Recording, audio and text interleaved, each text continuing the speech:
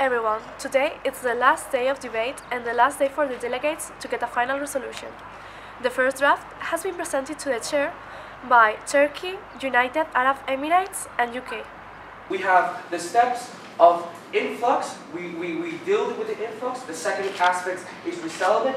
And the last aspect is fund, funding. Where are we going to fund these? How are we going to do it?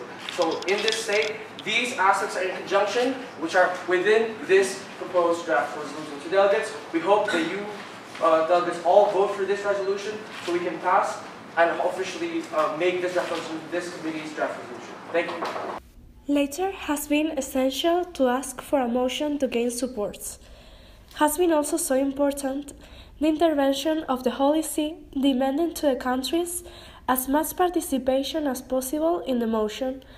Let them also see that the motion construction has been so exclusive with the other countries, but nevertheless, they highlight the need of this agreement.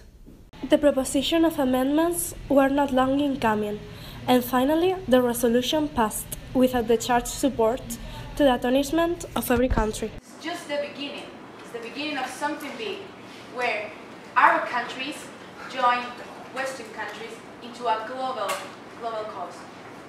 We will achieve it, and we will find the best conditions for all the humankind.